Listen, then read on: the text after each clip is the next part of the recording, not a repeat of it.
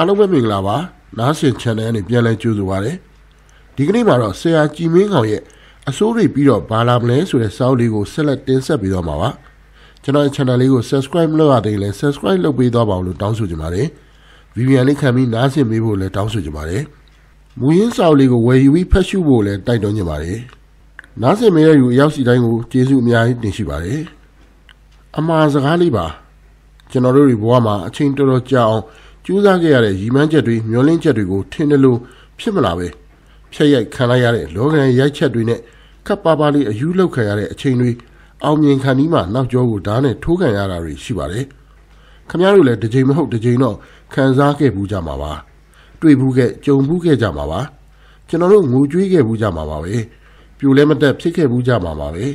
ဒါပေမဲ့အားမလျှော့ပဲဆက်လျှောက်ခဲ့ရတာပဲမဟုတ်လားရက်နေလို့မှမရတာအတွေ့အကြုံဖြစ် တင်ငန်းစာအဖြစ်ပဲရယူပြုပြင်ရင်မန်တင်းအားခဲရင်ပဲဒီနေ့ထိရှောက်ခဲ့ရတာပါပဲလေတိလာရတာကတော့ကျွန်တော်တို့လက်လွတ်ဆုံးရှုံးခဲ့ရတဲ့အရာတွေဟာအပီးတိုင်လက်လွတ်ခဲ့ရတာမဟုတ်ဘူးဆိုတာပါပဲဘဝတွေဆုံးရှုံးခဲ့ရတယ်ရှုံးနှိမ့်ခဲ့တယ်အဆိုးတွေရင်ဆိုင်ခဲ့တယ်ဒါတွေပြီးရင်ပါလာမလဲတိတ်ကိုရိုးရှင်းတဲ့နေရာမှာပါမပူနဲ့နော်ချစ်ချင်းအဖြစ်ကြည်မင်းကောင်အစိုးရပြီးတော့ပါလာမလဲ ကဘာကျော်ပနာမတူးမြောင်းကိုတူးစဉ်အခါဖြစ်ပါလေဒီတူးမြောင်းကြီးကိုတူးပြီးတဝက်လောက်အရောက်မှာတော့ကြီးမားတဲ့တောင်ကြီးတစ်ခြားဟာပြိုကျပြီးတူးမြောင်းကြီးကိုပိတ်ဆို့သွားပါလေဒါကြောင့်လည်းလှပေါင်းများစွာအလုတ်တွေနားခဲ့ရပါလေဒီတူးမြောင်းကိုတာဝန်ယူတူးဖော်နေတဲ့သူက Major General ကိုတဲပါတောင်ကြီးပြိုကျသွားပြီးတူးမြောင်းကိုပိတ်ဆို့သွားတော့သူ့လက်ထောက်အရာရှိကအပြေးလွှားရောက်လာပြီးပြောပါလေဘယ်လိုလုပ်ကြမလဲမိဂျာတဲ့ဒါကိုကိုတဲက secret ကိုမိချင်မှာခောက်နေရင်က အေးစီစီပဲပြန်ပြောလိုက်တာကခံလိုက်ပေါ့ကွာနောက်ထပ်ပြန်တူးကြရုံမောတဲ့ကဲကြည့်ပါဘလောက်များစိတ်သက်ကြန့်ခိုင်မာကြောလိုက်ပါသလဲအေးစီးပါပဲသူတို့လို့ရင်မာယွင်းတာမဟုတ်ဘူးတဘာဝကလှုပ်လိုက်တာလေဒါကြောင့်ကျွန်တော်တို့လည်းကျွန်တော်တို့ရဲ့ကြိုးစားအားထုတ်မှုတွေဇွဲလုံးလဝိရိယတွေနဲ့လှုပ်ရှားရုန်းကန်ကြိုးစားလာခဲ့ကြပြီးမှနိုင်ငံရေးလူမှုရေးတဘာဝဘေးစတဲ့အကြောင်းအရာအမျိုးမျိုးတွေကြောင့်ပျက်စီးဆုံးရှုံးသွားခဲ့ရင် ချွတ်ချော်သိမ်းဆောင်းသွားခဲ့ရင်ဘယ်လိုလုပ်မလဲဒုက္ခပါပဲလို့စိတ်ပြတ်အာရုံမသွားလိုက်ပါနဲ့ခံလိုက်ပေါ့ကွာနောက်တစ်ခါထပ်လုပ်ကြတာဗောဆိုတဲ့ကိုတဲရဲ့စကားတန်လေးကိုသတိရလိုက်ပါလို့ပြောချင်ပါတယ်ကဲခမည်းပြောကြည့်အစိုးရပြီးရင်ဘာလာမလဲလိုင်းပေါ်မှာဖက်လိုက်ရတဲ့အကြောင်းလေးပါမူရင်းကိုကျေးဇူးတင်ပါတယ်အစိုးရပြီးတော့ဘာလာမလဲ ဒီကမ္ဘာလောကကြီးထဲမှာလူအဖြစ်စတင်မွေးဖွားလာချိန်မှစပြီးတည်ဆုံးချိန်ထိအချိန်ကာလဟာလူဘဝဖြစ်ပါတယ်။ဒီလူဘဝကိုတချို့ကကြမ်းတဲ့နဲ့ခင်းအောင်လက်နဲ့ဥပမာတင်စားပြီးပြောတတ်ကြပါလေ။တချို့ကတော့ပန်းချင်းနဲ့လမ်းလို့ပြောတတ်ကြတယ်။ကိုယ့်အယူဆနဲ့ကိုပါပဲ။လူဘဝဟာဇက်ခုံကြီးဘဝဆိုတာတိုက်ပွဲတစ်ခုမို့စစ်မြေပြင်ကြီးလို့ပြောကြပြန်ပါလေ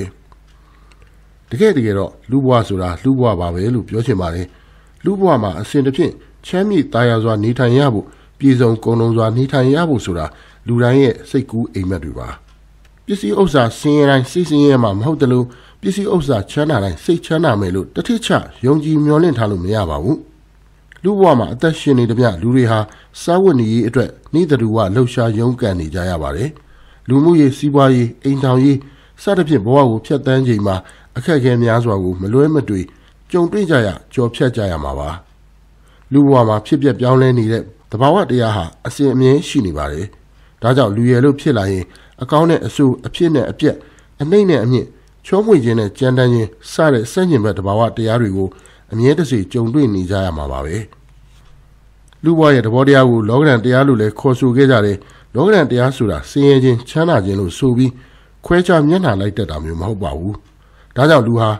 ဘဝခီးတစ်လျှောက်ကိုဖျက်ဆီးတဲ့အခါမှာတာယာကြည်နူးစရာဖြစ်စေ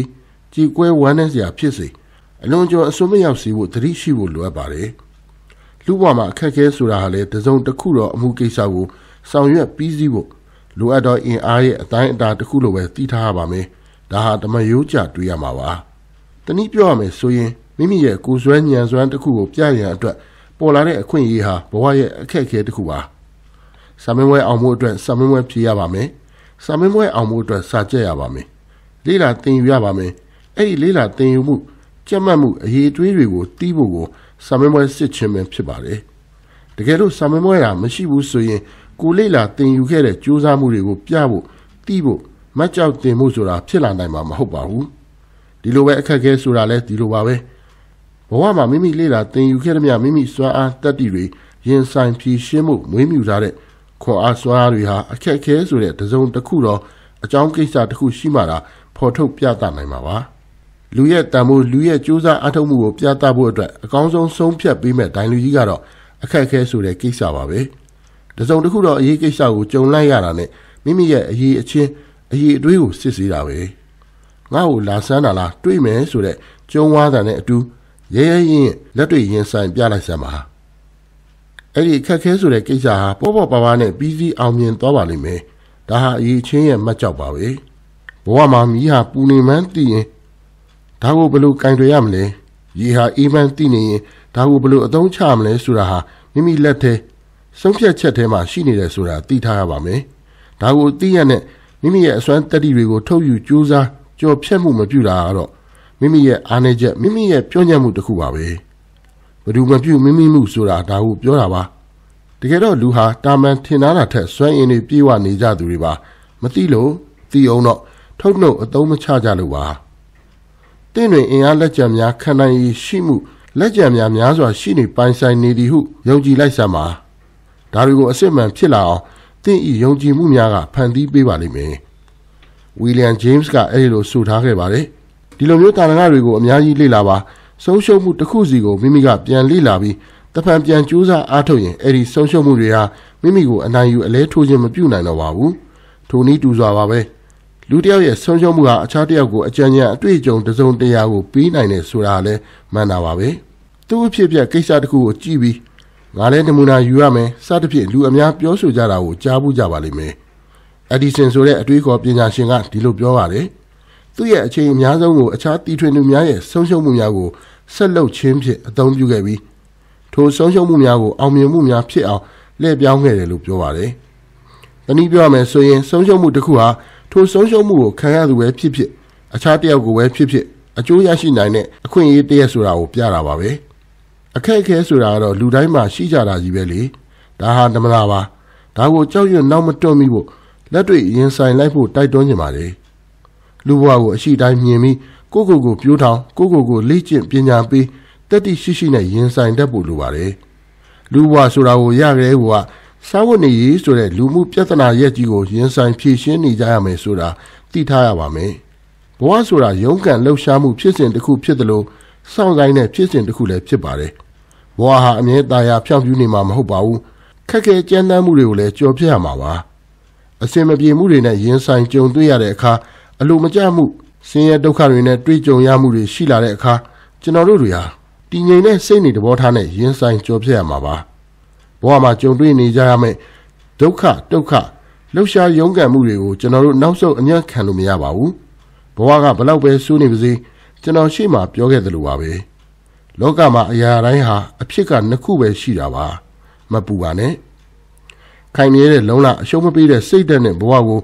လက်တွေ့ရင်ဆိုင်မှတာကျွန်တော်တို့ရဲ့ဘဝတွေဟာတာယာဖြောင့်ပြူချမ်းမြေ့အောင်မြင်မှုတွေရရှိလာနိုင်မှာပါဒါကိုတော့လုံးဝမမေ့ပါနဲ့ အစိုးရပြီးရင်ပါလာမလဲတကယ်တော့ကျွန်တော်တို့ဟာဒီခန္ဓာကြီးကိုမုံတီးယွန်ရှာနေရမှာမဟုတ်ပါဘူးဆွဲလန်းနေဖို့လည်းမပြောပါဘူးရုပ်တရားရဲ့ဖြစ်ပျက်ပြောင်းလဲမှုကိုလက်ခံပြီးသူ့တဘောတူဆောင်နေပါလားလို့တတ်မှတ်ပြီးအမြဲမရှိနိုင်ပါလားလို့မြင်တတ်မှတာညံရဲ့အလင်းကိုရမှာပါတချို့တွေရှိကြပါတယ်လှုပ်တိုင်းလည်းမဖြစ်လို့ဘဝကိုစိတ်ပြက်အားငယ်အလိုမကျမှုတွေနဲ့စိတ်တောကဖိစီးနေတတ်ကြပါတယ်ဒီအခါမှာဘဝကပြတ်တယ်ခက်တယ်ဆိုပြီး တစ်ထစ်ချကြီးတွေးပြီးအစွန်းရောက်ခံစားမနေဖို့လည်းပြောချင်ပါတယ်အတိတ်နဲ့အနာဂတ်တွေကြားကပြစ္ဆုတ်ပန်မာတာကောင်းအောင်လုပ်ပါဒီအခါမှာကြံခဲ့တဲ့အတိတ်ကလည်းကောင်းပြီး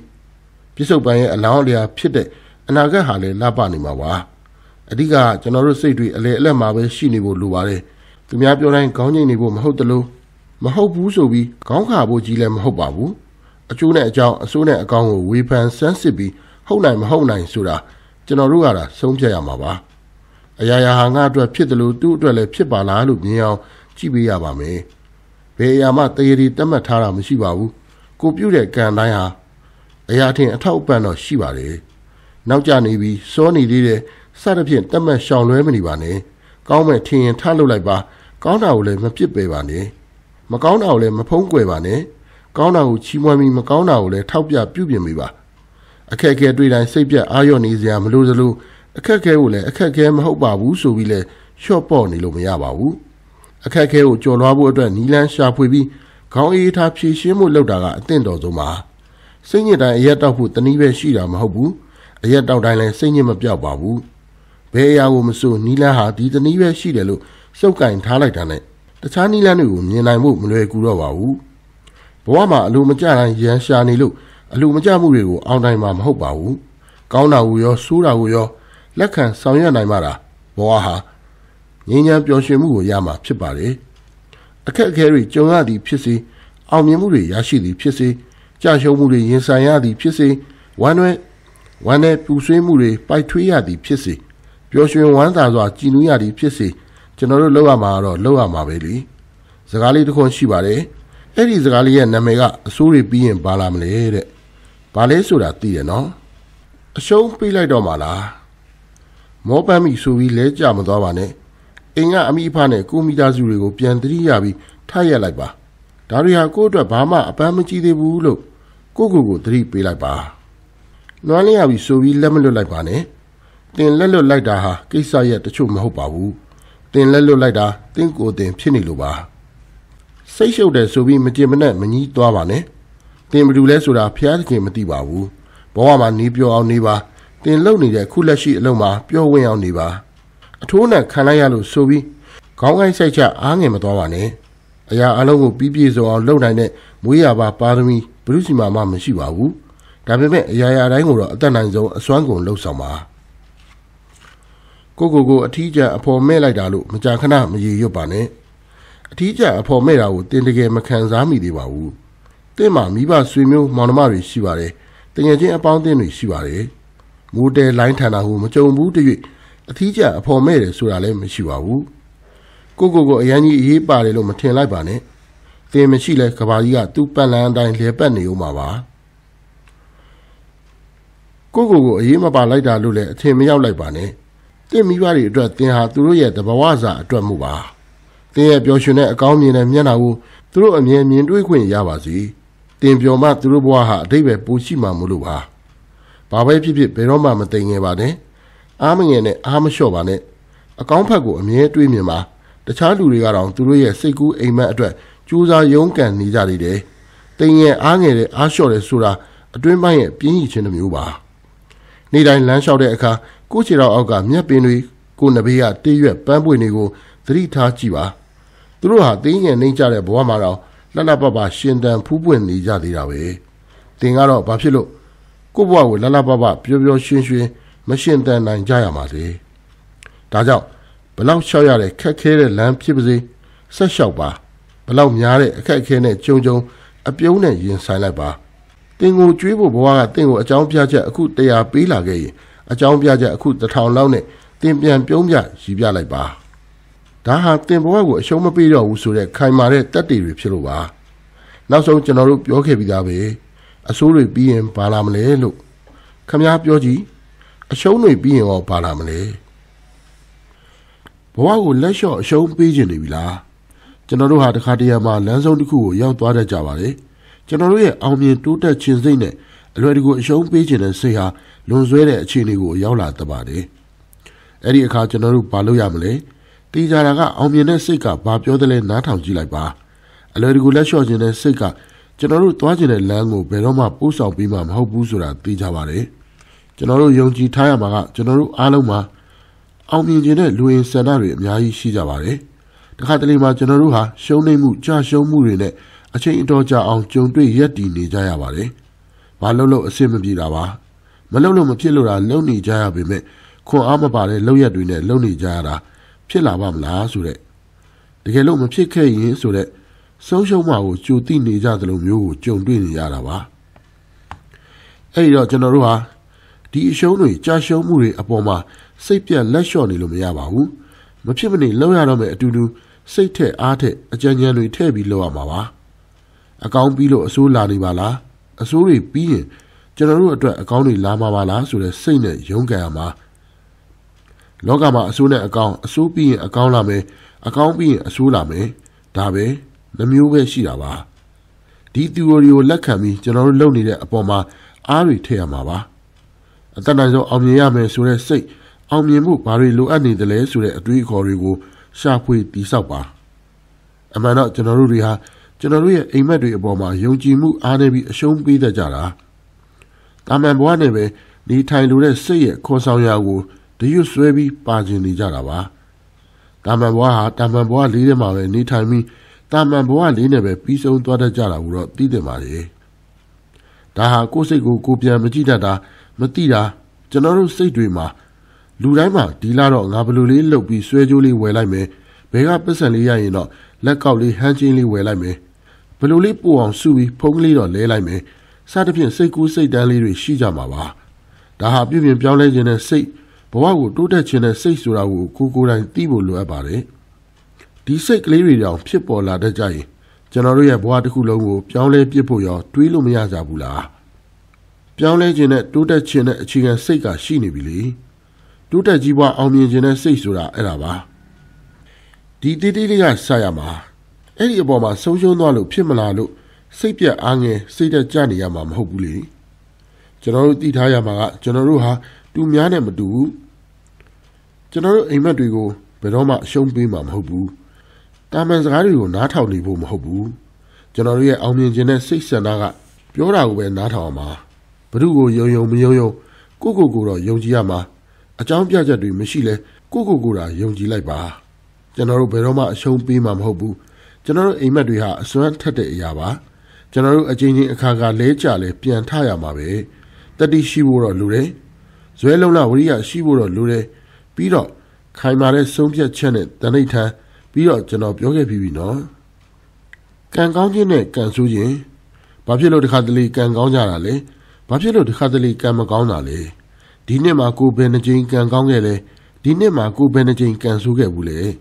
ဒီနှစ်မှာကိုကံကောင်းခြင်းများခဲ့တာလားတို့မဟုတ်ကံဆိုးခြင်းများခဲ့တာလား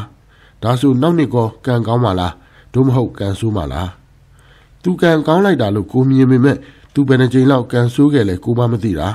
ကံဆိုတာဒင်းကားပြားလိုပါပဲခေါင်းကြမလားပန်းကြမလားကိုမသိနိုင်ပါဘူးကိုခေါင်းလိုချင်တာနဲ့ခေါင်းမဲကြပါလို့ကိုတင်ကားပြားကိုအမိန့်ပေးလို့မရပါဘူး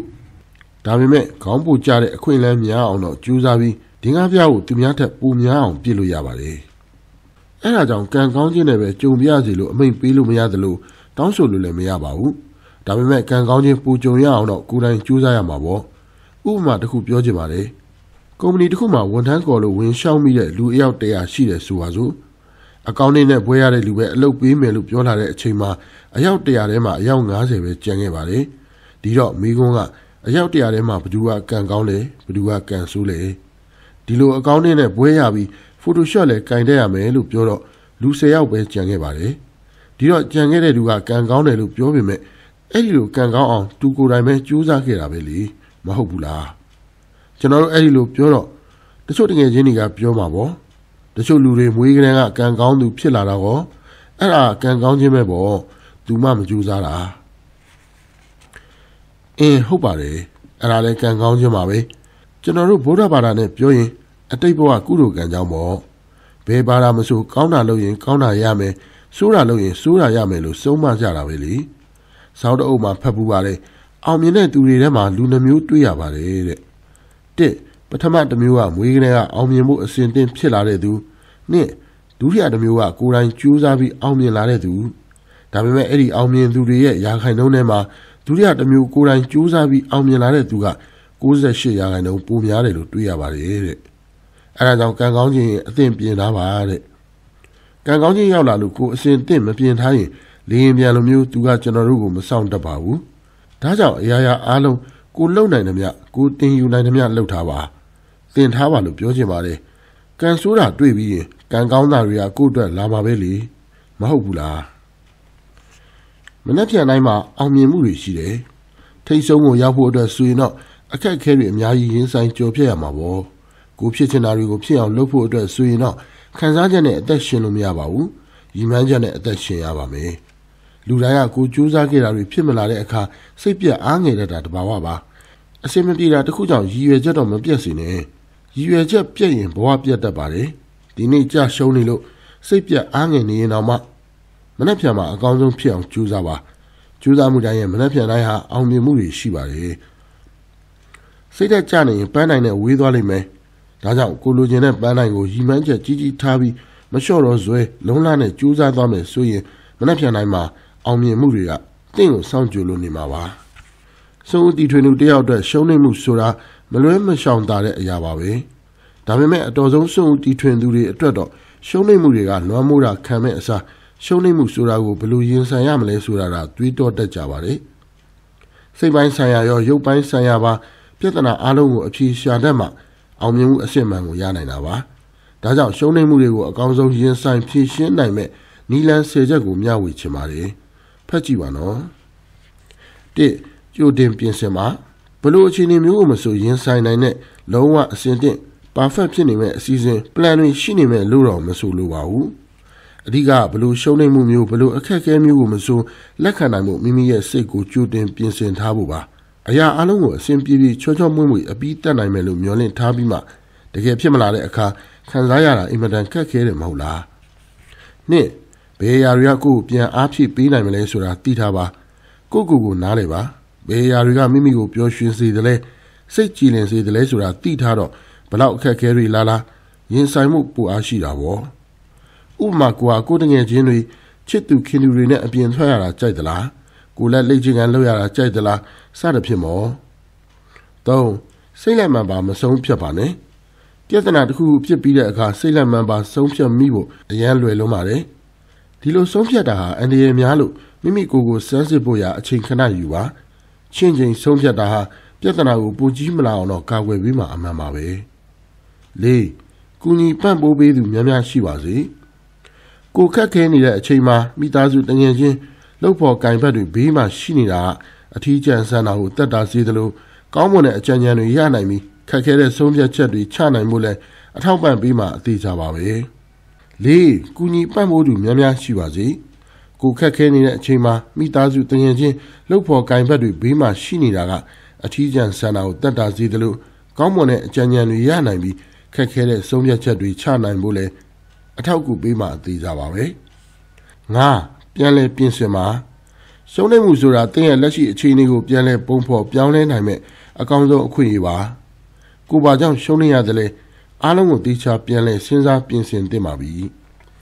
6အရန်ကြီးတော့ကမဖြစ်ပါနဲ့တခါတလေရှုံးလိမ့်မှုနဲ့ရင်ဆိုင်ရတဲ့အခါများဆိုရင်ကဘာပြတ်တဲ့လောက်ခံစားရတယ်မဟုတ်ပါလား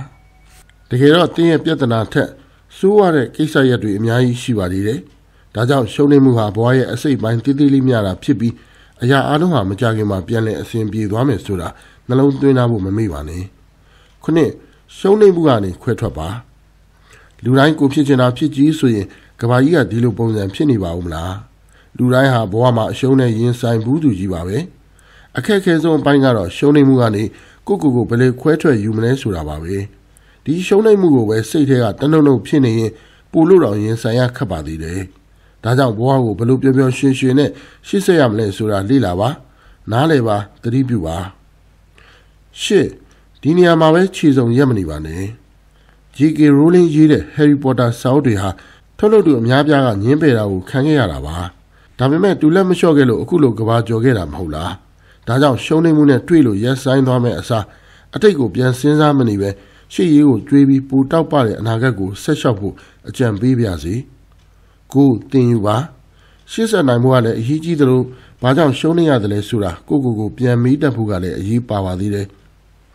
အမားတွေကနေသင်ခန်းစာယူတတ်ဖို့နဲ့နောက်ဒီထက်ကောင်းအောင်ဘလို့ပြင်ဆင်တင့်တယ်လဲဆိုတာစဉ်းစားတတ်ဖို့ကလည်းအခက်အခဲဆုံးအပိုင်းတွေပါပဲဒါပေမဲ့ဒီခက်ခဲတဲ့မိခွန်းတွေရင်ဆိုင်နိုင်အောင်ကြိုးစားရင်ဆိုင်မိအဖြေရှာပါဒီနီလန်းဟာနောက်နောက်အလားတူအမားတွေမလုံမိအောင်ကာကွယ်ပေးပါလိမ့်မယ်30ကိုလုံနေတာကိုနားလေသဘောပေါက်ပါစုဦးတီထွင်သူဆိုမှတော့မတူညီတဲ့အနေအမြင့်တွေကြာရှုံးမှုတွေကိုရင်ဆိုင်ရမှာပါပဲဒါတွေကိုရင်ဆိုင်နေစရာမလိုပဲ အေးအေးဆေးဆေးဘဝမှာနေချင်ရင်တော့ဘာအလုပ်မှမလုပ်ပါနဲ့တော့ကိုရှောက်နေတဲ့လမ်းကိုလုံနေတဲ့အလုပ်ကိုနားလေသဘောပေါက်ထားမှသာလေကြုံလာတဲ့စိန်ခေါ်မှုတွေကိုဖျက်ချော်နိုင်ပါလိမ့်မယ်ယုံတယ်မဟုတ်လားလုပ်ကြည့်ကြိုးစားခင်ဗျာကျွန်တော်တို့တွေကြိုးစားကြပါလေအောင်မြင်မှုကြော်ကြားဖို့ချမ်းသာဖို့သူများထက်တာဖို့စသဖြင့်မောကျူးစားထားသည်မြအရာထင်လာတဲ့အခါပျော်ရွှင်ကြရသလို ကျူးစားထားသည်မြအချီနီတဲတဲ့ရည်တုံဖြစ်ရတဲ့အခါဝမ်းနည်းကြရပြန်ပါတယ်မွေလီကကစားနည်းလိုပါပဲလီကားချီရင်အကွက်ပေါ်ရောက်လို့အမြင့်ကိုထောင်သက်တွားတတ်တယ်လို့တခါတလေလဲမွေပါဇက်ဝသွားကြလို့အောက်ကိုရှော့ကျသွားတဲ့အခါတွေလည်းရှိပါတယ်အမြင့်ကိုရောက်တဲ့အခါဘဝင်ကင်ပြီးအောက်မကျတော့ဘူးလို့ထင်နေတတ်ကြတယ်လို့အနှိမ်ကိုရောက်သွားတဲ့အခါမှာလဲစိတ်ဓာတ်တွေကြပြီးတည်တော့မလို့ခံစားတတ်ကြပါတယ်တချို့ကလည်းအမြင့်ကနေအောက်ကိုကျသွားမှကိုတွေးကြောင်နေကြပါတယ်ဒါလူတဘာဝပါပဲ ပြန်တွေးကြည့်ရအောင်ဘဝမှာတသက်မတ်တဲ့အောင်မြင်နေတဲ့သူနဲ့ကြာရှုံးနေတဲ့သူဆိုတာရှိခဲ့ဘူးလို့လားသုံးလောကထွတ်တာမြတ်စွာဘုရားတော်ဘုရားဖြစ်ဖို့6နှစ်ကျင့်ရပါတယ်6နှစ်အတွင်းလမ်းပြောင်းနေတဲ့ကာလတွေများခဲ့ပါတယ်ဖျားဖြစ်သွားတော့ရောကြည့်တဲ့ရင်နှိမ့်မြင့်တက်ကြတွေကိုတွေ့ရမှာပါလောက်ကြံခံရတယ်နောက်ဆက်ခံရတယ်ဂိုင်းခွဲခြင်းသူတွေပေါ်လာတယ်မတရားအသိဖြတ်ဆွဆွဲခံရတယ်ယောဂဝေဒနာတွေခံစားရတယ်စသဖြင့်အများကြီးပါ ဒီတော့ပုရိသေတွေအတွက်အနှိမ့်အမြင့်အတက်ကြတွေကြုံတွေ့ရတာမဆန်းပါဘူးပြီးပြည့်စုံနေတဲ့ဘဝရည်လို့မရှိပါဘူးလူဆိုတာကြိုးစားနေရမယ်မှန်ပါတယ်ကြိုးစားနေရင်အောင်မြင်မှုတွေကိုတွေ့မယ်ကြာရှုံးမှုတွေကိုတွေ့မယ်ဘာကိုပဲတွေ့တွေ့ဒါတွေဟာခဏတာပဲလို့စိတ်ထဲမှာတွေးထားနိုင်ရပါမယ်တတ်မှတ်မှုတွေကြောက်ရွံ့မှုတွေကိုဖယ်ထားနိုင်မှုကြိုးစားရပါမယ်လောကကိုကြံ့ကြံ့ခံနိုင်တဲ့လူသားတစ်ယောက်ဖြစ်လာဖို့လေ့ကျင့်ကြရမှာပါ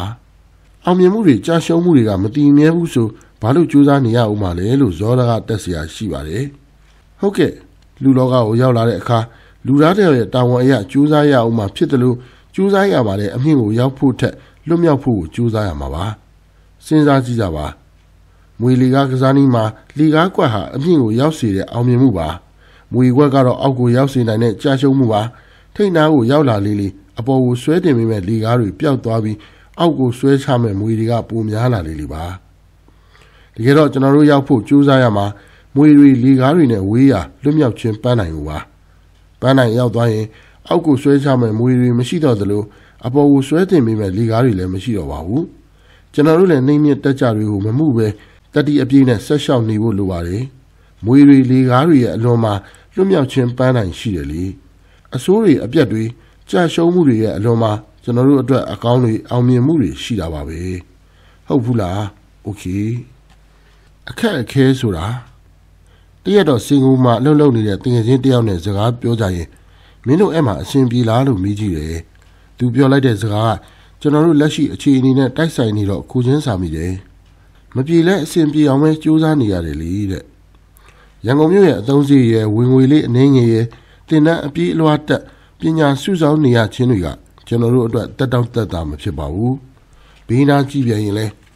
အစီပပြေမှုတွေအခက်အခဲတွေကြားတွေကကျွန်တော်တယောက်တည်းဟုတ်မနေပြန်ဘူးတငယ်ချင်းတွေလည်းဒီတိုင်းပဲ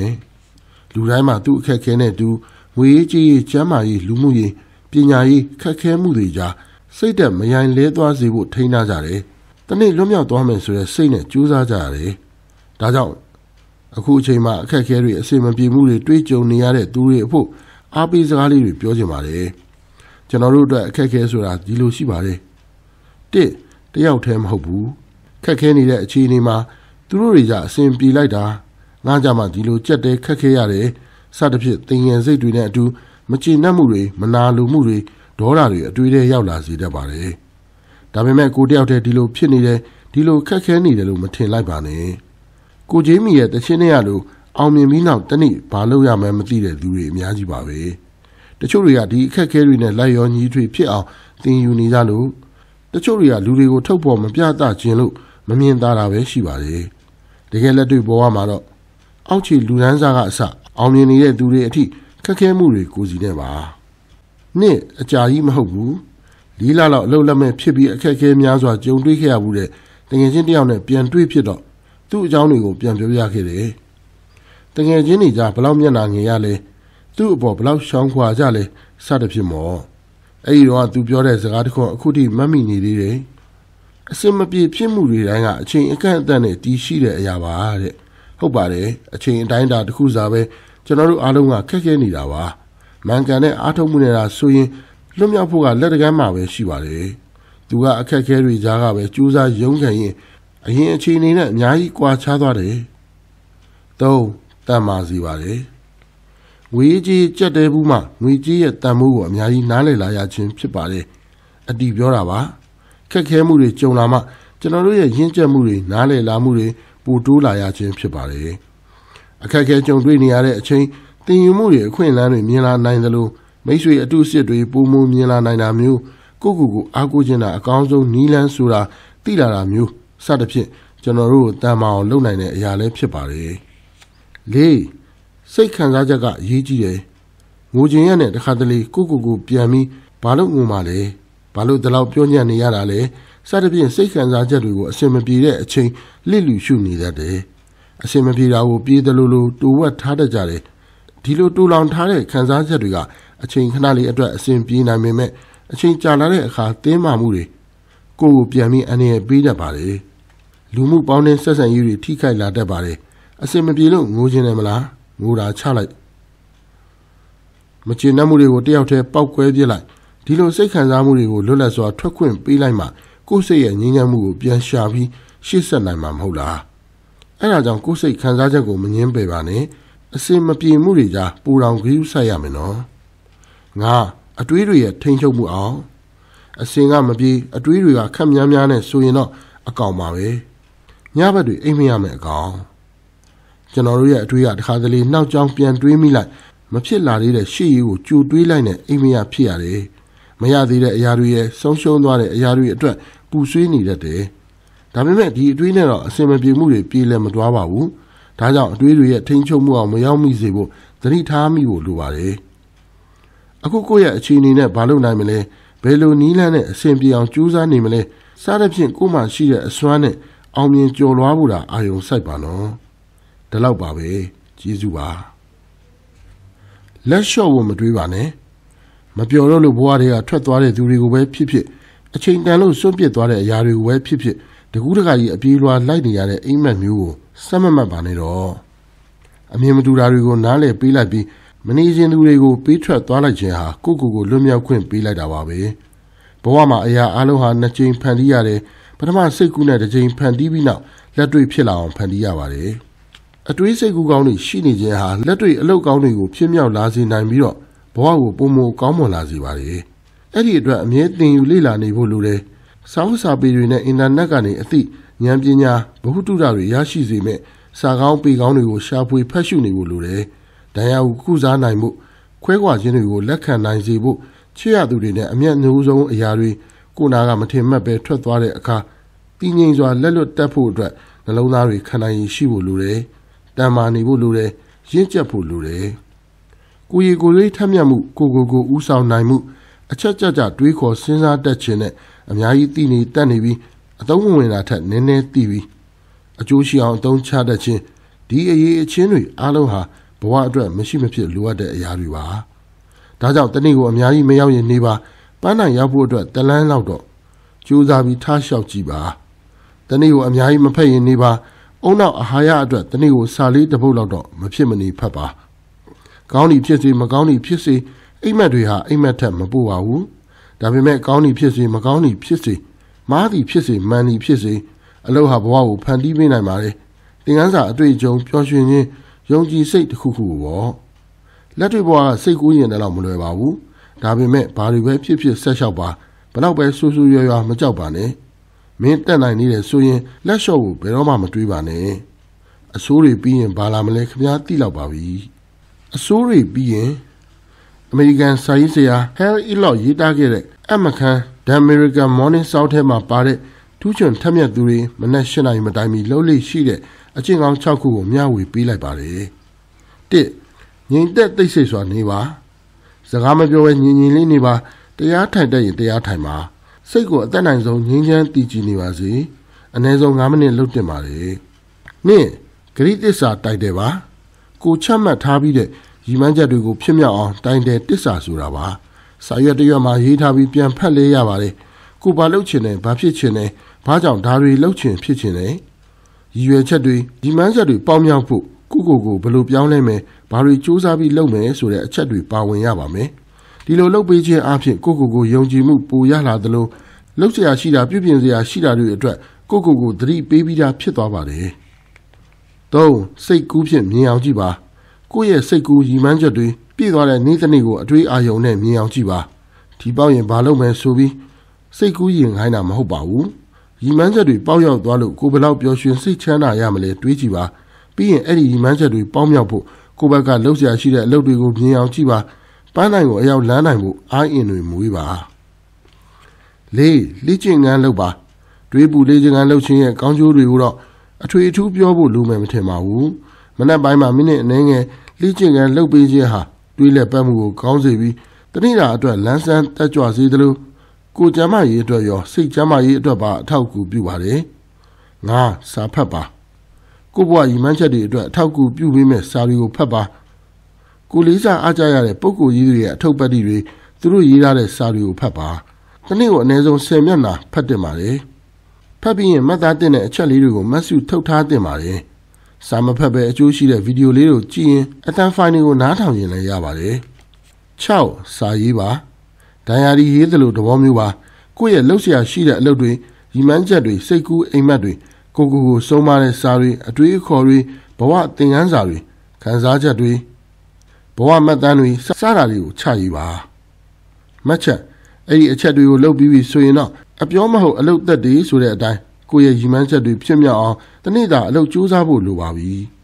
အခုလိုကိုဗစ်ကာလမှာအခက်အခဲအဟန့်အတားတွေရှိနေတတ်ပါတယ်အားမလျှော့ပဲစိတ်ရှိရှိထားပြီးပါခင်ဗျာဒီအချက်တွေအားလုံးကိုလိုက်မလုပ်နိုင်ရင်တော့မှအချို့အချက်လေးတွေကိုလှုပ်တင်တယ်လို့ကျွန်တော်မြင်ပါတယ်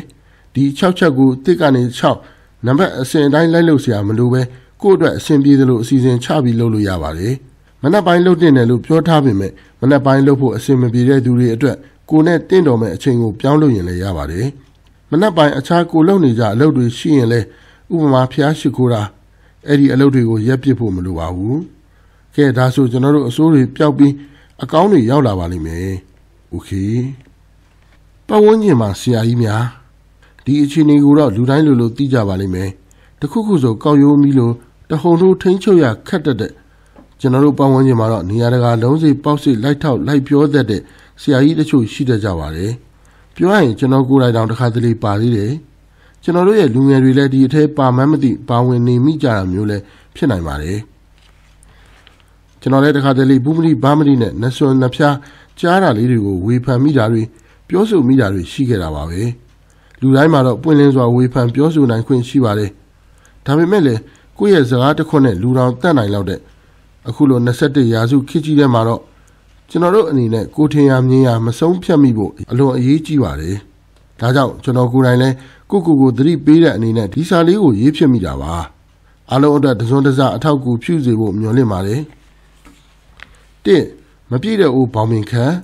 ဒါကျွန်တော်ဖြစ်နေကြကိစ္စတစ်ခုပါ။တခုခုနဲ့ပတ်သက်ပြီးနည်းနည်းလေးသိလိုက်တာနဲ့ကိုကိုကိုအရန်တွေအထင်ကြီးပြီး ဘဝင်လေဟတ်တဲ့ယောဂထားတတ်တာပေါ့။ပြီးရင်စိတ်ထဲမှာဆရာကြီးလိုလိုဘာလိုလိုနဲ့အဲ့အကြောင်းသူများတွေပြောတာကြားရင်ဆရာဝင်လုတ်လိုက်ဝင်ညင်းလိုက်ဝေဖန်လိုက်အပြစ်တင်လိုက်နဲ့နောက်ပိုင်းမှာကိုသိတာတွေကတိတ်နေမှန်းသိရတဲ့အခါဒါဟာရှက်စရာတစ်ခုဖြစ်နေမှန်းသိလိုက်ရတယ်ပေါ့စကားပုံမှာဆိုကြတယ်လို့ပဲတကယ်စင်ကျင်တက်တဲ့သူတွေကကို့အထင်တစ်ခုတည်းနဲ့အရာရာမဆုံးဖြတ်တတ်တယ်လို့စကားအရာမှာလည်းချင်းချင်းချင်းချင်းပြောဆိုပြုမှုတတ်ကြပေမဲ့တစိတ်ကိုတကဘာထင်ကြသူတွေကတော့ သူ့ဟာနဲ့သူ့ပြာရာခတ်ပြီးနောက်မှကိုရှုကိုပက်ရတဲ့အခြေအနေမျိုးတွေလည်းဖြစ်ရတာပေါ့ဒါကြောင့်တချို့တော့လူငယ်လေးတွေကိုလည်းကျွန်တော်တခုအကြံပေးချင်တာကကိုတို့လိုလူငယ်တွေဟာထက်မြက်တယ်တွက်လက်တယ်စူးစမ်းလိုစိတ်ရှိတာမှန်းတယ်ဒါပေမဲ့မာနကြီးတယ်ဂုံမက်တယ်စိတ်ကိုထိန်းချုပ်ရခက်တတ်တယ်ဆိုတော့စီးလို့ဝါလို့မပြည့်တဲ့အိုးဘောင်မင်ခတ်တယ်လို့မဖြစ်စေပဲသတိရှိရှိနဲ့ချင့်ချင်းစဉ်းစားပြီးမှပြောဆိုပြုမှုကြဖို့ဂရုပေးပါနော်နှစ်အမြဲတမ်းမမှန်နိုင်ဘူး ဘဝမှာအမှန်တရားကဒွန်တွဲတယ်လို့ဘလောက်ပဲတော်နေတဲ့သူပဲဖြစ်ဖြစ်ထက်မြက်တဲ့သူပဲဖြစ်ဖြစ်အချိန်ဒီတစ်ခုခုမှာအမှားယွင်းဖြစ်တာမျိုးကအချိန်မရွေးရှိနိုင်ပါတယ်အမြဲတမ်းမှန်ကန်နေတဲ့သူရဲ့လို့မရှိတတ်တယ်လို့ကိုယ်အနေနဲ့လည်းကိုကအမြဲတစေမမှန်နိုင်ဘူးဆိုတာနားလည်ထားဖို့လိုအပ်ပါတယ်တချို့ကြတော့စိတ်သိပ်ကြီးတယ်လေကိုပြောတာအမှန်သူများပြောတာအမှားအဲ့ဒီလိုယူဆသူတွေရှိတယ်လို့ကိုမနေရင်တော့ကိုအမြင်အတိုင်းဆက်လုပ်မယ်ဆိုတဲ့ခေါင်းမာသူလေးတွေလည်းရှိတတ်တာကြောင့်ဒီအချက်ကိုမိမောင်းထိုးပြရတာပါ အထူးသဖြင့်ကျွန်တော်တို့လူလူငယ်တွေအနေနဲ့အတွေ့အကြုံနှုတ်နယ်သေးတဲ့စိတ်ကူးရင်ပြီးခံစားချက်နောက်ကိုလွယ်လွယ်လိုက်တတ်ကြတဲ့အရွယ်ကိုယ်ဘယ်သူမှနားမလဲပါဘူးထင်တတ်တဲ့အရွယ်မှာကိုထင်နေတာအမှန်ဆိုတဲ့စိတ်မျိုးမထားမိဖို့ကသတိထားရမယ်နော်သုံးရှူတော့ပေါင်းစုံကကြည့်ရမယ်ရှူတော့ဆိုတာတိတ်ကိုအရေးကြီးတဲ့အရာပါရှူတော့တစ်ခုတည်းကနေကိုမြင်တဲ့အရာကိုအတိမတ်ယူလိုက်တာနဲ့မာယွန်းသွားနိုင်တဲ့အရာတွေအများကြီးပါပဲဥပမာအမြင်လဲစားတဲ့ပုံသဏ္ဍာန်လိုမျိုးပဲပေါ့ ဒီဘက်ကကြည့်ရင်တစ်မျိုးမြင်ရပေမဲ့တခြားရှုထောင့်ကနေကြည့်ရင်နောက်တစ်မျိုးမြင်ရတာမျိုးလေဆိုတော့ပြောချင်တာကဘဝမှာကြုံရတဲ့မြကိစ္စအဝဝမှာရှုထောင့်ပေါင်းစုံကနေကြည့်ပေးဖို့ပါကိုဒုက္ခတစ်ခုတွေ့ရင်ရောဒါကိုအကောင်းဘက်ရှုထောင့်ကနေပြောင်းကြည့်လိုက်ရင်ဒုက္ခဟာအင်မတန်ကြီးတဲ့သင်ခန်းစာဖြစ်နိုင်တယ်လို့အခြားတစ်ပါးသူတယောက်အပေါ်မှာလည်းအပြစ်တင်ဝေဖန်စကားတွေမပြောခင်ဒီအရာဟာတကယ်မှန်ရဲ့လားကိုသိထားတာတွေကဟုတ်ရဲ့လားဆိုတာကိုရှုထောင့်ပေါင်းစုံနဲ့စစ်ဆေးကြည့်ဖို့လိုပါတယ် ဒီလိုဆိုရင်တော့ခရီးရီလို့စကားမပြောမိတော့ဘူးအမားတွေပူနေသွားမယ်ပေါ့လေးအမြင်တွေမျှဝေလက်ခံတတ်ဖို့လိုတယ်ဆရာကြီးလှုပ်တတ်ကြသူအများစုရဲ့အကျင့်တစ်ခုကတော့သူများရဲ့အမြင်တွေကိုလက်သင့်မခံချင်တာပါအဲ့လိုကိုယ့်အမြင်တွေကိုစီပြောကြရင်နဲ့တိုက်ကြခိုက်ကြကိစ္စကားနဲ့ပြောရရင်ဝါးတွေဖြစ်ကုန်တာပေါ့လေကိစ္စတိုင်းမှာကိုယ့်အမြင်တစ်ခုတည်းကအမှန်ရလို့ယူဆလို့မရပါဘူးဖြစ်နိုင်တာတွေအများကြီးရှိပါတယ်ကိုကတော့ဒီလိုဘူးခံပြီး ဆရာကြီးအထာဖမ်းနေရင်အခွင့်အရေးကောင်းတွေအများကြီးလဲလက်လွတ်ဆုံးရှုံးရနိုင်ပါတယ်ကျွန်တော်လဲကိုယ့်အမြင်ကပြီးပြည့်စုံတယ်ဆိုပြီးထင်ခဲ့ဘူးတာပဲသူများရဲ့အကြံကကိုယ့်ထက်တာနေခဲ့ရင်မနာလိုမိတာတွေဖြစ်ခဲ့ဘူးတာပဲဒါလူတဘာဝမှုအပြစ်တော့မတင်ပေမဲ့ဒီစိတ်ကိုအမြဲထွေးပိုက်ထားလို့မဖြစ်ပါဘူးကိုယ့်အမြင်တွေကိုလည်းသူများကိုဝေမျှပြောတတ်သလိုသူများရဲ့အမြင်ကိုလည်းလက်ခံတွေးတောပြီးမှတဦးနဲ့တဦးအပေးအယူမျှပြီးပိုတိုးတက်လာနိုင်မှာပါ ဒါကြောင့်ဒီဆောင်းပါးလေးကိုဖတ်ကြည့်ပြီးကိုရောဆရာကြီးများတတ်တဲ့ပတ်ဝန်းကျင်မှာပါတူတူကကဆရာကြီးတယောက်ဖြစ်နေမိပြီလားဆိုတာလေးစမ်းစစ်ကြည့်စီချင်ပါတယ်တယောက်နဲ့တယောက်တာနားလေပေးပြီးအမြင်ချင်းဖက်လေချင်းချင်းနေကြမယ်ဆိုရင်ကျွန်တော်တို့ရဲ့လူမှုပတ်ဝန်းကျင်ကြီးဟာလည်းဒီထက်ပိုတာယာကောင်းမွန်လာမှာအသေးချပါပဲရုံးထွက်ဖို့ကြိုးစားပါတစ်ဘယ်ရာပဲဖြစ်ဖြစ်တုံးတက်ရင်စေးမတုံးတက်ရင်ဘေးဖြစ်မှာပဲလေ Facebook ဆိုတာမြန်မာမှာမကပဲကမ္ဘာမှာပါလူသုံးများတဲ့ application တစ်ခုပါတချို့တော့နိုင်ငံတွေမှာ Twitter, Instagram စတဲ့ application တွေကိုတော်တော်များများသုံးကြပေမဲ့ကျွန်တော်တို့နိုင်ငံမှာတော့ Facebook သုံးသူတာအများဆုံးဖြစ်ပါတယ်။ Mark Zuckerberg ကတော့ကျွန်တော်တို့အတွက်အကောင်းဆုံးဆိုတာကိုပေးခဲ့တာပဲလေ။ယူတတ်ဖို့ကကျွန်တော်တို့ရဲ့တာဝန်မော် Facebook ကနေစိတ်အပန်းဖြေတဲ့ဗီဒီယိုလေးတချို့ကိုကြည့်မယ်ဗုဒ္ဓတာရစီမယ်စာကလေးတချို့ကိုဖတ်မယ် မိမိအတွက်အကျိုးရှိစေမယ့်စာပေလေးတွေလေ့လာမယ်ကဘာအနှံ့အပြားသတင်းလေးတွေကြည့်မယ်ဒီလိုနီးလေးတွေနဲ့ Facebook ကိုအချိန်အကန့်အသတ်ထားပြီးသုံးစွဲရင်တော့ကိုယ့်အတွက်အနေရမရှိဘူးပေါ့နော် Facebook ကိုအပန်းဖြေပျော်ရွှင်စရာ entertainment တစ်ခုလို့နှစ်သက်ပါနှစ်သက်စရာ dress တစ်ခုလို့တော့မစွဲလမ်းမိပါစေနဲ့အခုခေတ်လူအများစုဟာအားလက်ချိန်ပဲဖြစ်ဖြစ်အလုပ်နားချိန်ပဲဖြစ်ဖြစ် Facebook ပေါ်မှာပဲအချိန်တွေကိုကုံဆုံးတတ်ကြတယ်ကျွန်တော်ကိုယ်တိုင်အပါဝင်မော် တေချာစဉ်းစားကြည့်မိပြန်တော့ကိုယ့်ရဲ့အချိန်တွေဒါ Facebook သုံးရင်းကုံဆုံးသွားတာတခါတလေ Facebook မှာဘာတွေဖြစ်ပျက်နေတယ်ဘယ်လိုတွေတိုးတက်ပြောင်းလဲနေတယ်ဆိုတာကိုတော့သတိမထားမိလိုက်ပြန်ဘူးဖုန်းကင်လိုက်ပြီးဆိုရင် Facebook ဆိုတဲ့ application ကိုနှိပ်မိတာကအကျဉ်းတစ်ခုလိုဖြစ်နေပြီအပေါ်ကိုဆွဲလိုက်အောက်ကိုဆွဲလိုက်နဲ့ဘာမှမသိလိုက်ရတဲ့အခိုက်အတန့်တွေကအများကြီးပါအကျဉ်းချုပ်ကြည့်လိုက်မယ်ဆိုရင်လူအများစုဟာ Facebook ကိုထမင်းစားရေးတောက် နေ့စဉ်ပြုလုပ်နေကြအလုပ်တစ်ခုလိုသဘောထားပြုမှုနေကြတယ်ဒီတော့ကျွန်တော်တို့တွေဟာ Facebook ဆိုတဲ့နွန်တော်တွေကရုံးထွက်ဖို့ကြိုးစားရမယ်လှုပ်လေမြုပ်လေတော့မဖြစ်စေနဲ့ပေါ့နောက်ဆုတ်ဖို့ကြိုးစားရင်းနဲ့ရှေ့ကိုလည်းဆက်မတိုးမိပါစေနဲ့နှစ်အတုံးချကံမဖြစ်စေနဲ့ဒီစာကိုဖတ်နေပြီဆိုတဲ့ကသင်ဟာ Facebook သုံးစွဲသူတူဆိုတာသိချနေပြီဒီတော့ကိုကိုကိုမေးခွန်းလေးနှစ်ခုချက်ချင်းပြန်မိလိုက်ပါငါက Facebook ကိုအသုံးချနေတာလား Facebook ကပဲငါ့ကိုအသုံးချနေတာလားသင်ဟာ Facebook ကိုအသုံးချနေတဲ့လူတစ်ယောက်ဆိုရင်သင်ရဲ့အခြေအနေကိုဆက်ပြီးထိန်းထားပါ Facebook ကိုပိုပြီးကောင်းတဲ့နေရာတွေမှာ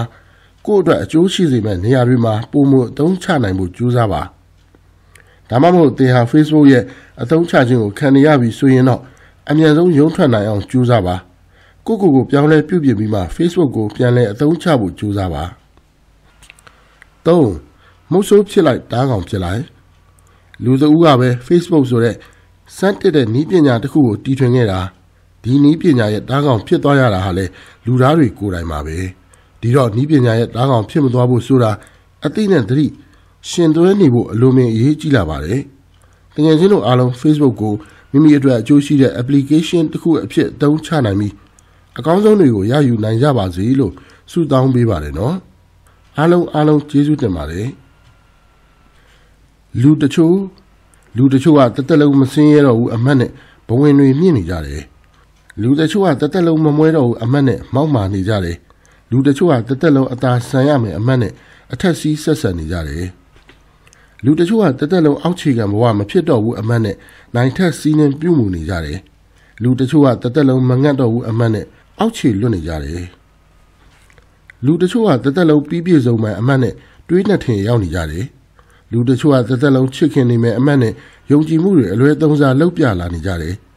လူတချို့ကတသက်လုံးအကြည်ညိုမပြတ်ဘူးအထင်နဲ့အရှက်မဲ့ပြလာနေကြတယ်လူတချို့ကတသက်လုံးကူးကွယ်နေမယ်အမတ်နဲ့ခြေလေခြင်းတိုင်းခြေလေလာနေကြတယ်လူတချို့ကတသက်လုံးငသုံးတွေအတိုင်းရှင်းသတ်မယ်အမှတ်နဲ့လှည့်စားလာကြတယ်လူတချို့ကတသက်လုံးအမှန်တွေကြီးပဲရွေးလုပ်ခဲ့တဲ့အမှတ်နဲ့စကကြီးစကကျဲပြောထွက်လာကြတယ်အဲ့ဒီလိုလူမျိုးတွေတဲ့တင်ကိုယ်တိုင်မပါမိပါစေနဲ့မိတ်ဆွေ ဒုက္ခရောက်တဲ့လူဟာဘဝဆက်ဝိုင်းအကယ်၍ကိုယ့်ဘဝကိုပူကောင်းအောင်ပြောင်းလဲခြင်းနဲ့ချမ်းသာခြင်းနဲ့အောင်မြင်ခြင်းနဲ့ကိုယ်ပန်းနိုင်ကိုကိုချရတဲ့အတိုင်းကိုယ့်ဘဝကိုဖျက်ဆီးခြင်းနဲ့ဆိုရင်အရင်ဆုံးကျွန်တော်တို့အခုဘဝထဲမှာကျွန်တော်တို့ရှင်းထုတ်ရမယ့်အချက်တွေကိုသိမှရမှာပါအဲ့ဒါမှကျွန်တော်တို့ဘဝအောင်မြင်မှုတွေကိုတူလောင်ထားဖို့နေရာလွတ်တွေရှိမှာပါအဲ့ဒီကျွန်တော်တို့ဘဝတွေကနေရှင်းထုတ်ပြစ်ဖယ်ရှားပြရမယ့်အချက်တွေကိုပြောပြပါမယ် အကြောင်းပြချက်တွေကို ရှင်းထုတ်ပါဒီနေ့တည်းထိကျွန်တော်တို့ဘဝတွေမှာရှေ့ဆက်မတိုးနိုင်နေတာဘာကြောင့်လဲအရင်မရှိကိုယ့်ကိုကူညီမဲ့သူမရှိလို့အခွင့်အရေးမရှိလို့အချိန်မရှိလို့ပညာအရေးချင်းနဲလို့စသဖြင့်အကြောင်းပြချက်တွေကိုရှင်းထုတ်ရမှာပါအကုန်လုံးကတော့အကြောင်းပြချက်တွေပါပဲဘာဖြစ်လို့လဲဆိုတော့အကယ်၍ဒီကဘာပေါ်မှာကျွန်တော်တို့လူမျိုးပြဿနာရှိပြီးတော့သူတို့ကအောင်မြင်နိုင်တယ်ဆိုရင်ဆိုလိုတာကကျွန်တော်တို့လည်းအောင်မြင်ရမှာပဲလေကျွန်တော်တို့ဘဝတွေရဲ့ရလက်ဟာ ကျွန်တော်တို့အပေါ်မှာပဲတရားရာခိုင်နှုန်းတက်ဆိုင်ပါတယ်ဒါပေမဲ့အောင်မြင်သူတွေကပဲဒီစကားကိုလက်ခံတာဆိုတယ်ဒါကြောင့်ကိုယ်မှရှိတဲ့အကြောင်းပြချက်အားလုံးကိုရှင်းထုတ်ပြလိုက်ပါပြီးရင်တော့ဘဝဟာအရင်ကထက်ပိုပြီးတက်တောင့်တက်တာရှိလာမှာပါအားလုံးပြီးပြည့်စုံမှလုပ်မယ်ဆိုတဲ့စိတ်ကိုရှင်းပြပါအကယ်၍ကျွန်တော်တို့မှာအကုန်လုံးအစင်တက်ဖြစ်တဲ့ရက်ကိုစောင့်ပြီးမှအရာတစ်ခုကိုစလုပ်မယ်ဆိုရင်ဒီဘဝမှာကျွန်တော်တို့ဘာမှလုပ်ဖြစ်တော့မှာမဟုတ်ဘူးဆိုတာပြောရပါတယ် ပြီးပြည့်စုံရင်ဆိုတာကျွန်တော်တို့ကိုဖျက်ဆီးမဲ့ယောဂပိုးတစ်မျိုးလိုပါပဲဘာဖြစ်လို့လဲဆိုတော့လူတယောက်ဘာမှလုပ်လို့မရအောင်ဖျက်ဆီးနိုင်လို့ပါတကယ်တမ်းပြောရမယ်ဆိုရင်ကျွန်တော်တို့ဘဝထဲမှာဖြစ်ပေါ်လာတဲ့အရာမှန်သမျှကိုအစင်တစ်မဖြစ်သေးတဲ့အချိန်မှကြီးဖြစ်လာတတ်တာပါတခါတော့ကျွန်တော်တို့မှာအစင်တစ်မဖြစ်ပဲစမွဲဖြေခဲ့ဘူးမှာပါတခါတော့ကျွန်တော်တို့မှာအစင်တစ်မဖြစ်ပဲအလုပ်ဝင်ခဲ့ဘူးမှာပါတခါတော့ကျွန်တော်တို့မှာဘာမှမပြည့်စုံသေးပဲနဲ့စီးပွားရေးစခဲ့ဘူးမှာပါ ဒါပေမဲ့အခုတော့အဲ့ဒီအရာတွေကိုကျွန်တော်တို့ကြော်ဖြတ်လာခဲ့ကြပြီမဟုတ်လားဒါကြောင့်ကျွန်တော်တို့အတွက်တန်မိုးရှိတဲ့အချိန်ကိုမဖြုံးနေပါနဲ့တော့ဘဝဆိုတာစရမယ်ကြာရှုံးမယ်တင်ယူရမယ်ပြုပြင်ရမယ်တိဆောက်ရမယ်နောက်တစ်ခါပြန်စရမယ်အဲ့ဒီလိုလဲပတ်နေတဲ့ဘဝမှုလို့ပါကျွန်တော်ပြောခဲ့ပြီးပြီနော်အရှုံးတွေအဆိုးတွေပြီးရင်ဘာလာမလဲလို့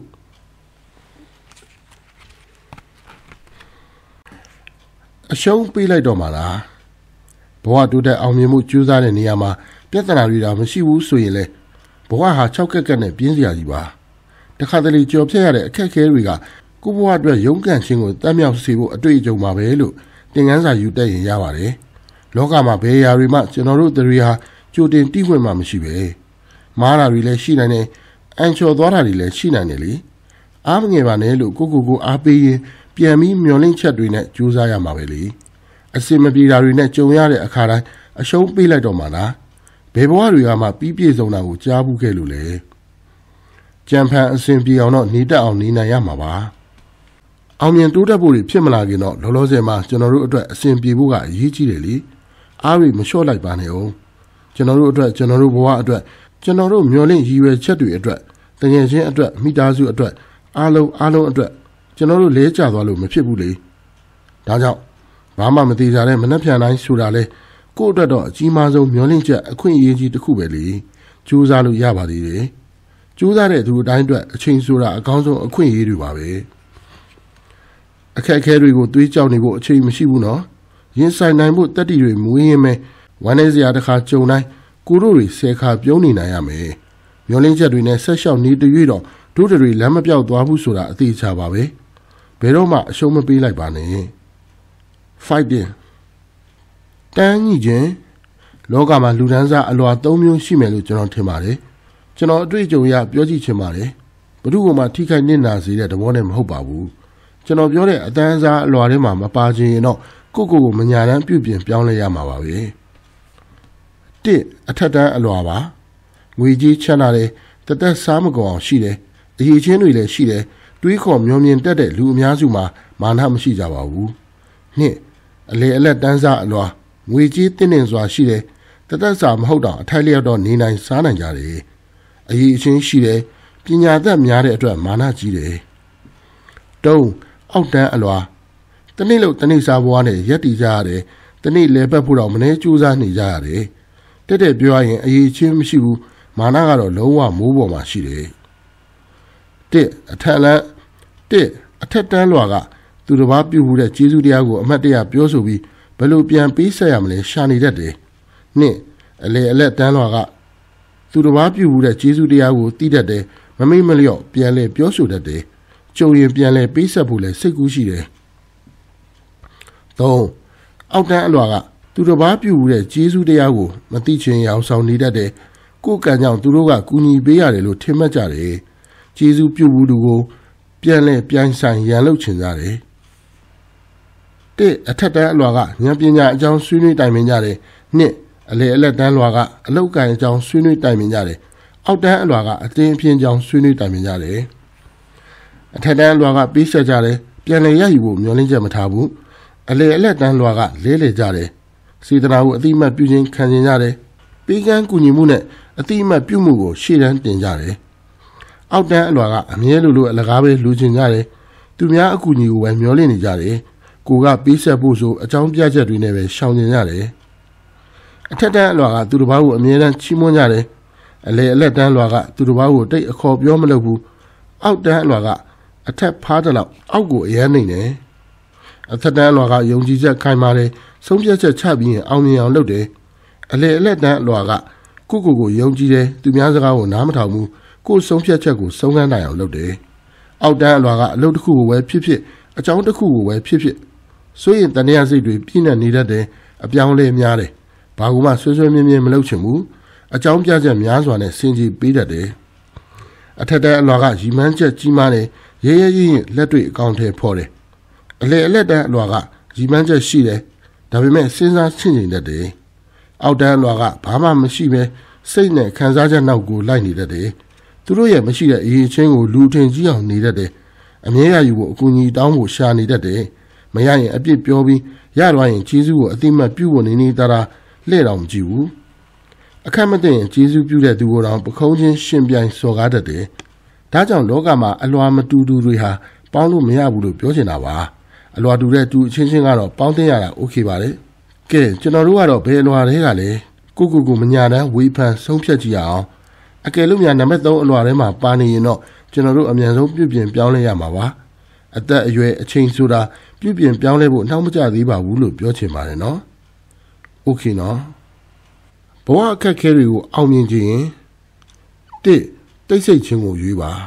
။အတလီတရားဟာတပါးသူရဲ့အထင်လွဲမှုကိုခံရတယ်။ဒါကိုမဖြေရှင်းချင်တဲ့အခါတိတ်ဆိတ်ခြင်းကိုတင်ရွေးလိမ့်မယ်။အစကတည်းကလူတိုင်းဟာသင်ကိုနားလေသူတွေမဟုတ်ဘူး။ဒါကြောင့်လောကကြီးကိုကိုဒုက္ခတွေကြော်ညာနေစရာမလိုဘူးလို့တင်ထင်တယ်။တခါတလေမှာတင့်အချစ်ဆုံးသူတွေက တင်ပေါ်တဘောထားလွှဲမယ်ဒီလိုအခြေမျိုးမှာတင်နာကျင်ခံစားရပြီးမဖြေရှင်းကျင်တဲ့အခါတိတ်ဆိတ်ခြင်းကိုတင်ရွေးပါလောကတစ်ခုလုံးတင့်ကိုနားမလဲခြင်းနေပါစေတင်အချစ်ဆုံးသူကတင့်ကိုနားလဲတင်တယ်တကယ်လို့သူပါတင့်ကိုနားမလဲခဲ့ရင်ဘာများပြောစရာရှိတော့မလဲဒါကြောင့်တစ်ခါတလေစကားမပြောကျင်တော့တဲ့အခါမပြောပါနဲ့ပြောပန်များတဲ့အရာမထင်တော့တဲ့အခါတိတ်ဆိတ်နေခြင်းကအကောင်းဆုံးဖြေရှင်းနည်းဖြစ်လိမ့်မယ်နှစ်တည်ငြိမ်ခြင်းကိုရွေးပါလူဘဝရဲ့ကြောက်ကံပါတယ် တင်ပြုတ်ကျသွားတဲ့အချိန်တင့်ဘေးမှာရှိတဲ့လူတွေကတင်းကိုစိတ်သက်ကြံ့ခိုင်မှုပျော်ရွှင်မှုအားပေးလိမ့်မယ်ဒီလိုအချိန်မျိုးမှာစိတ်သက်ကြံ့ခိုင်မှုဆိုတာမရှိမဖြစ်လိုအပ်ပေမဲ့ပျော်ရွှင်မှုဆိုတာခက်ခဲလိမ့်မယ်ဆုံးရှုံးခြင်းတွေနဲ့ရင်ဆိုင်နေရခြင်းဘယ်သူမှပျော်ရွှင်နိုင်ကြမှာမဟုတ်ဘူးဒါပေမဲ့အ ਨੇ ဆုံးတော့တည်ငြိမ်ရမယ်တည်တည်ငြိမ်ငြိမ်နဲ့ပြဿနာရဲ့အသိနဲ့ကိုကြည့်ရမယ်ဖြေရှင်းရမယ်တည်ငြိမ်ခြင်းဆိုတာပျော်ရွှင်ခြင်းလည်းမဟုတ်သလိုမပျော်ရွှင်ခြင်းလည်းမဟုတ်ဘူးသုံး အတိတ်ထဲမှာတဝဲမလဲပါနဲ့လူဘဝဆိုတာလမ်းခွဲတွေများတဲ့အစုံမရှိတဲ့လမ်းမကြီးဖြစ်တယ်မပြတ်တဲ့ရွေးချယ်ခြင်းတွေနဲ့ခီးဆက်နေရတယ်နေ့တိုင်းစားတဲ့အစားအစာကိုရွေးချယ်တာကပြဿနာမရှိပေမဲ့အလုတ်အကိုင်းအိမ်ထောင်ဘက်အိမ်ထောင်ပြုတ်မပြုတ်ကလေးယူမယူစတဲ့ရွေးချယ်မှုတိုင်းကဘဝတစ်ခုလုံးကိုတက်ရောက်စေတယ်မတူတဲ့ရွေးချယ်မှုကမတူတဲ့ဘဝကိုတိဆောက်ပေးတယ်ဘဝမှာတီးမခံနိုင်စရာကလူဘဝကိုအသက်ပြန်ဆစေတဲ့အခွင့်အရေးမရှိတာပဲ တကယ်လို့အစကတည်းကဒီလိုရွေးခဲ့ရင်ခုချိန်မှာဒီလိုဖြစ်နေမှာမဟုတ်ဘူးလို့ညှိတွားမနေနဲ့တင်ရွေးချယ်တဲ့ဘဝလမ်းခွဲတိုင်းမှာအကောင်းဆုံးဆိုတာမရှိသလိုအဆိုးဆုံးဆိုတာလည်းမရှိဘူးရွေးချယ်ခဲ့တဲ့လမ်းကိုအကောင်းဆုံးဖြစ်အောင်တင်လျှောက်လမ်းမှုပဲလိုတယ်ဖြောင့်ပြူအောင်ဖန်တီးဖို့ပဲလိုတယ်ဒါမှရွေးခဲ့တဲ့လမ်းမားတယ်လို့အတိတ်ထဲတင်တဝဲလည်နေတော့မှာမဟုတ်ဘူးလေးရိုးရှင်းတာကိုလက်ကင်ထားပါစိတ်ရှုပ်စရာတွေးတောမှုတွေဟာတင်ဘဝကိုရှုပ်ထွေးစေသလို လက်ရှိပြစ္ဆုတ်ပံမှာတင်အသက်ရှင်နေထိုင်နေပေမဲ့အတိတ်ကိုတင်တန်းတာနေတတ်တယ်ဒါမှမဟုတ်အနာဂတ်အတွက်တွေးပြီးစိုးရိမ်ပူပန်နေတတ်တယ်အတိတ်ရဲ့ပြစ္ဆုတ်ပံနဲ့အနာဂတ်အထိတဲဆောင်လာတာဟာတင်ဘဝကိုမတက်ရက်စေဘူးရှုပ်ထွေးပွေလီစေတယ်ရိုးရှင်းရှင်းဆိုတာတင့်တယ်ခြင်းဖြစ်တယ်ဥပမာယာဒီဥတို့အပြောင်းလဲကိုအရေးပြားနဲ့ရိုးရိုးရှင်းရှင်းခံယူမယ်မိုးရွာပြီးမြဲရတဲ့တွေကိုနှာခေါင်းနဲ့ရိုးရိုးရှင်းရှင်းရှူဆိုင်မယ်အဝေးကလာပတဲ့ရှုခင်းကိုပကြီးကားတစ်ချက်ကို မျက်လုံးနဲ့ရိုးရိုးရှင်းရှင်းအရတာခံမယ်ရိုးရှင်းရှင်းကဒီလောက်လွယ်ကူပါတယ်ပြစ္ဆုတ်ပံမှာရိုးရိုးရှင်းရှင်းနေထိုင်မယ်ရိုးရိုးရှင်းရှင်းနေထိုင်ရင်စိတ်ရှုပ်စရာတွေတွေးတောဖို့မလိုဘူးအတိတ်ကိုလည်းတန်းတာဖို့မလိုဘူးအနာဂတ်အတွက်လည်းစိုးရင်ပူပန်နေစရာမလိုဘူးရိုးရှင်းတာကိုလက်ကင်ထားပြီးဘဝကိုတက်တောင့်တက်တာဖြတ်တန်းနိုင်ပါတယ်ငါခံစားချက်ကိုအလာဟတမဖြုံးပါနဲ့တင်းအကြောင်းလူတွေမဟုတ်မမှန်ပြောလို့ဒီနေ့တင်းမပြောဘူးလူတွေနဲ့လည်းတင်းရမဖြစ်ချင်လို့လူတွေနားကတင်းခွာခဲ့တယ် ခန္ဓာကိုယ်ကလူတွေစီကတင်းခွာခဲ့ပေမဲ့တင်းစိတ်ကနာကျင်ခြင်းတွေကနေမခွာနိုင်ခဲ့လို့တွေးလေဒေါရထွက်လေဖြစ်မယ်ဒေါရဖြစ်ပြီးဆိုတာနဲ့တခြားအလုပ်အပေါ်မှာတင်းအာယုံမဆိုင်နိုင်တော့ဘူးစိတ်ပါလက်ပါတင်းမလုံနိုင်တော့ဘူး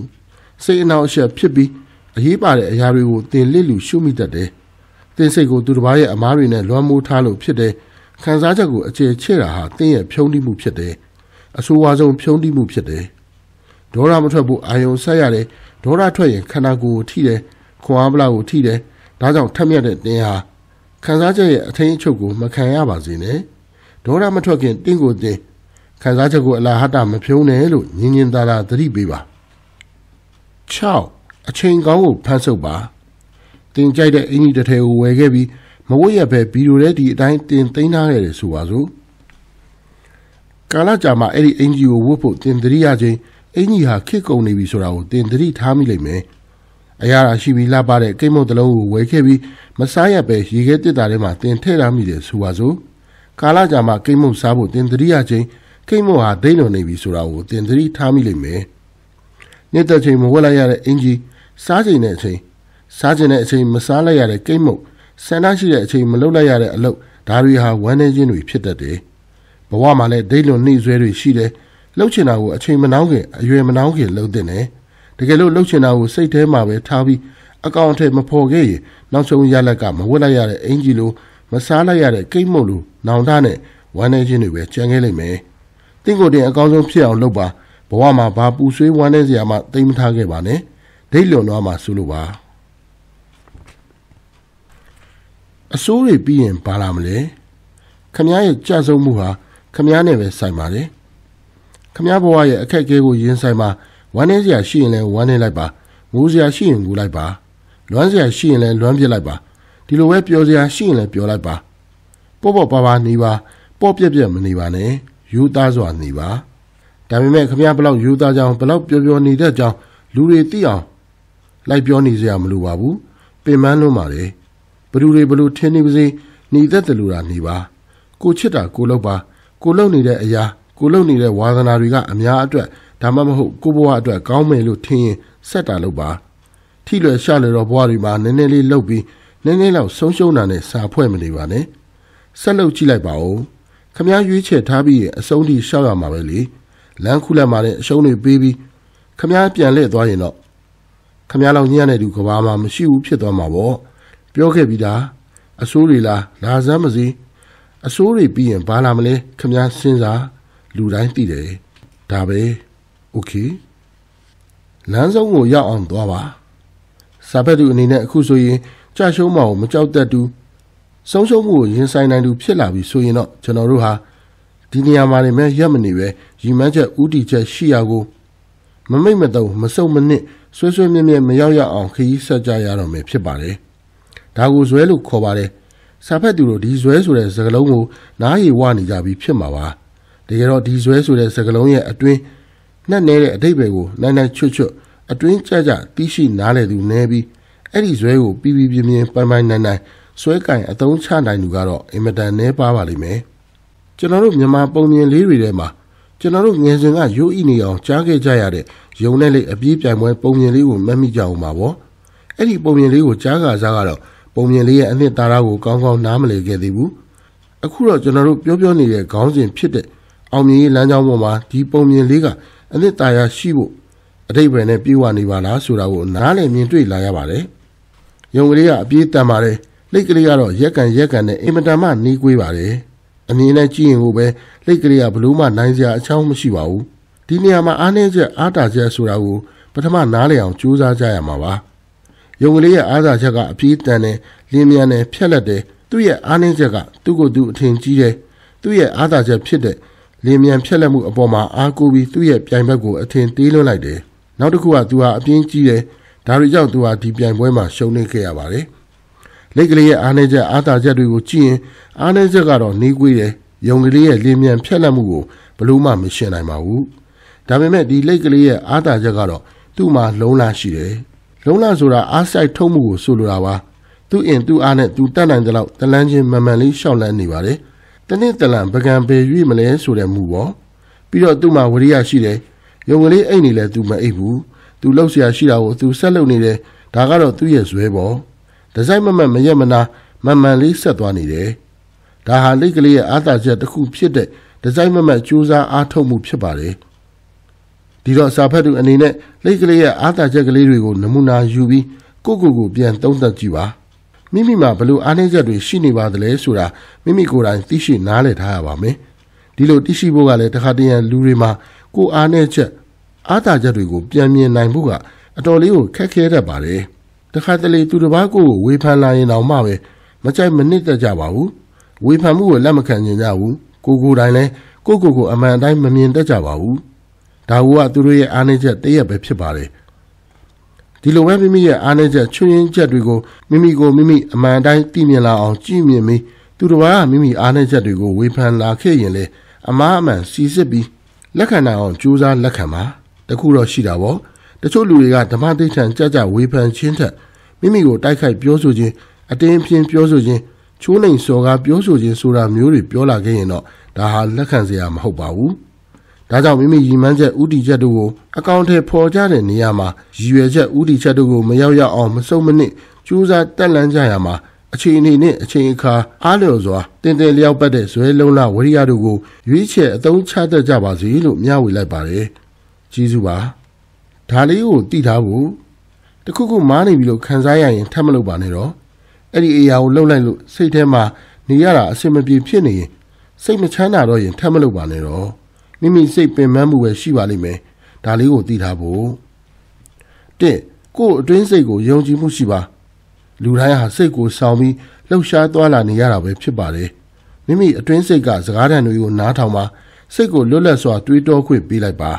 စိတ်ကူးနဲ့ကောင်းမွန်တဲ့အရာတွေကိုဖန်တီးပါကိုကိုကိုယုံပါနှစ်အိမ်မက်တွေကိုအလျှော့မပေးလိုက်ပါနဲ့လူတိုင်းလူတိုင်းအိမ်မက်ကိုစီရှိကြပါတယ်အိမ်မက်တွေလည်းမတ်ကြပါတယ် မိမိရဲ့လက်ပတဲ့အိမ်မက်တွေအကောင့်ထဲပေါ်နေတော့မှဖြစ်နိုင်ပါမလားဆိုပြီးအလျှော့ပေးတာတွေရှိတတ်ပါတယ်အလျှော့မပေးပါနဲ့အိမ်မက်အပြင်စွာတွေပေးလိုက်ပြီးဖြစ်ပါတယ်အိမ်မက်တွေကိုမှတ်ပါအကောင့်ထဲပေါ်ပါလက်တွေကြကြဖန်တီးပါ